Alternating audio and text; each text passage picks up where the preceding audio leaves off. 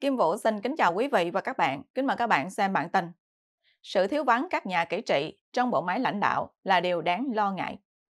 Ngày 25 tháng 10, VOA tiếng Việt cho hay hai nhà trí thức giải mã sự thống lĩnh của phe cầm quân trong bộ máy lãnh đạo Việt Nam. Theo VOA, các tướng lĩnh công an, quân đội hiện nắm ba chức vụ lãnh đạo cao nhất của Việt Nam, gồm có Đại tướng Công an Tô Lâm làm Tổng bí thư, là lãnh đạo có thực quyền cao nhất, Đại tướng quân đội Lương Cường làm Chủ tịch nước và cựu Trung tướng Công an Phạm Minh Chính làm Thủ tướng. Ngoài ra còn có 6 tướng, tá khác xuất thân từ công an, quân đội là ủy viên Bộ Chính trị, chiếm đa số trong tổng số 15 ủy viên. Sự trỗi dậy của phe các lực lượng vũ trang này được xem là chưa từng có trong chính trị Việt Nam.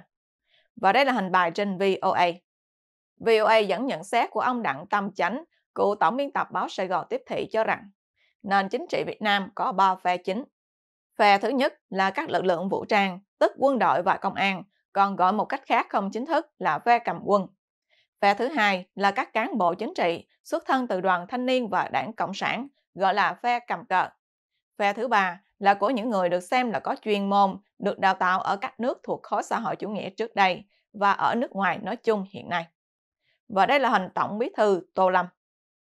Dưới thời Tổng bí thư Nguyễn Phú Trọng, phe cầm cờ thăng tiến thuận lợi, nhưng phe này bị nhiều đảng viên và nhân dân xem là chính trị chai. Lý Thuyết suông, ông Tâm Chính đưa ra quan sát.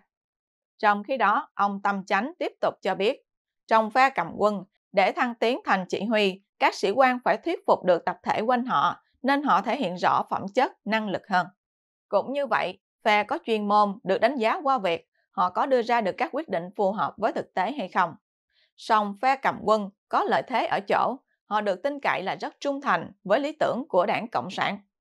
Với góc nhìn như vậy, ông Tâm Chánh không ngạc nhiên về việc phe cầm quân đang thống lĩnh các vị trí nắm quyền quyết sách. VOA dẫn nhận định của Phó Giáo sư Tiến sĩ Võ Đại Lược, cựu Viện trưởng Viện Kinh tế và Chính trị Thế giới cho rằng các tướng lĩnh, sĩ quan cao cấp vươn lên nắm nhiều vị trí có quyền quyết sách nhất từ trước đến nay là do họ chứng minh được tài và đức của họ. Ông Phạm Minh Chính, được đào tạo ở nước ngoài là phó giáo sư, tiến sĩ, từng làm xuất sắc bí thư Quảng Ninh, làm thủ tướng thì tốt quá. Từ khi ông làm thủ tướng, ông góp phần duy trì mức tăng trưởng kinh tế Việt Nam vào hàng cao nhất ở Đông Nam Á. Ông Tô Lâm có thành tích xuất sắc trong đốt lò. Bây giờ ông giữ chức tổng bí thư. Tôi hoàn toàn tin tưởng là ông Tô Lâm sẽ làm tốt chức trách đấy, tiến sĩ Lực cho hay. Và đây là hình thủ tướng Phạm Minh Chính. VOA nhắc lại, Đốt lò là cách gọi không chính thức đối với cuộc chiến chống tham nhũng kéo dài hơn 10 năm qua ở Việt Nam. Theo quan sát của VOA, việc chính tướng, tá, công an, quân đội hiện diện trong Bộ Chính trị và ba vị tướng nắm ghế lãnh đạo hàng đầu khiến dư luận lo ngại về viễn cảnh, công an trị, quân đội trị, đồng nghĩa xã hội sẽ ít các quyền tự do hơn. Nhưng Phó Giáo sư Tiến sĩ Võ Đại Lược lại đưa ra quan điểm cá nhân là không đáng lo ngại vì cần xét đến bối cảnh chưa bao giờ Việt Nam hội nhập quốc tế nhiều và có các điều kiện phát triển thuận lợi như hiện nay với các đối tác chiến lược toàn diện bao gồm cả Mỹ, Trung Quốc, Nhật Bản, một số nước châu Âu.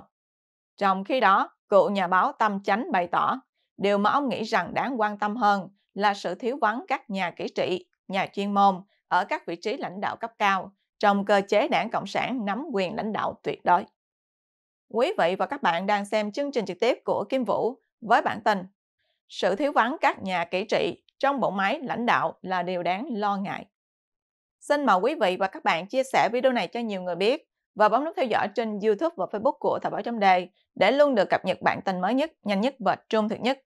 Kim Vũ xin kính chào các bạn và hẹn gặp lại các bạn trong chương trình lần tới.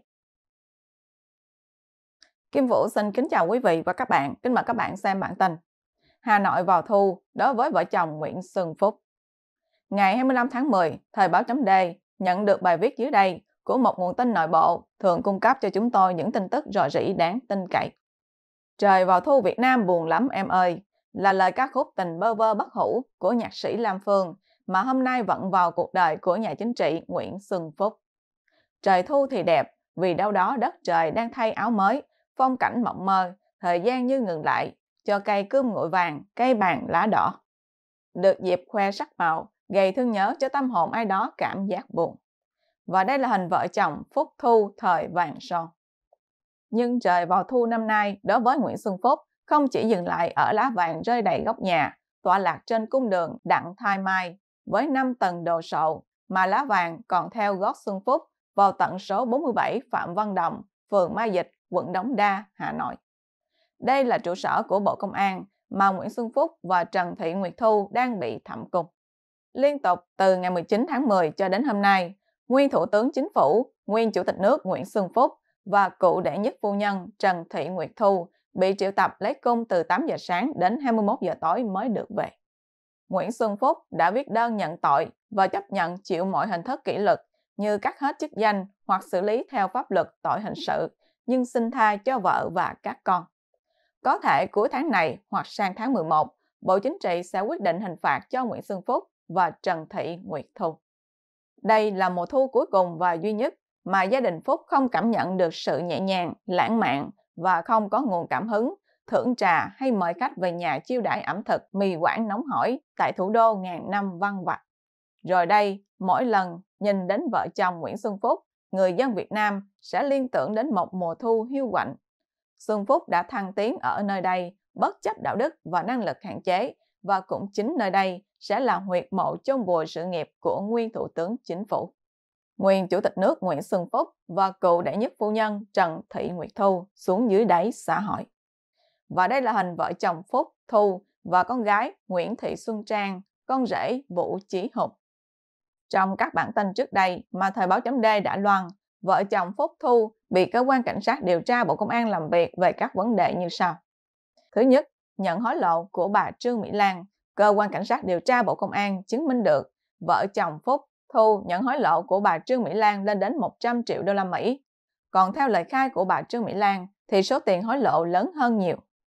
Ông Phúc còn tạo điều kiện cho vợ và con gái tham gia đường dây rửa tiền cả tỷ đô la của bà Lan từ Việt Nam tuồn qua Hồng Kông trong thời gian năm 2021 đến năm 2022. Thứ hai, liên quan đến vụ kit test COVID-19 của Việt Á. Ngoài việc ông Phúc nhận trực tiếp từ Phan Quốc Việt, Tổng Giám đốc Việt Á nhiều triệu đô la Mỹ, thì bà Thu còn nhận từ bà Kỳ, vợ Nguyễn Thanh Long, lúc đó là Bộ trưởng Bộ Y tế, 2 triệu đô la Mỹ.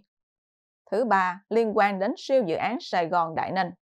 Theo lời khai của nguyên phó Thủ tướng Trương Hòa Bình, thì ông Bình nhận của ông Hoàng Thanh Bách và ông Nguyễn Cào Trí, công ty Sài Gòn Đại Ninh, 9 triệu đô la Mỹ, sau đó đưa cho ông Phúc 3 triệu đô la Mỹ.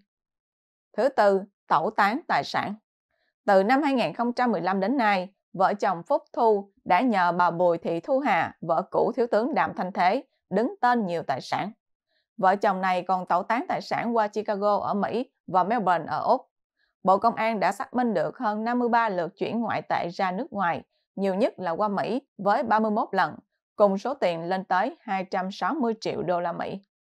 Ngoài ra, con rể Vũ Chí Hùng và bố của Hùng là Vũ Chí Kiên cùng cháu bà Thu là Trần Hào Nam cũng đứng tên giúp nhiều bất động sản tại Việt Nam.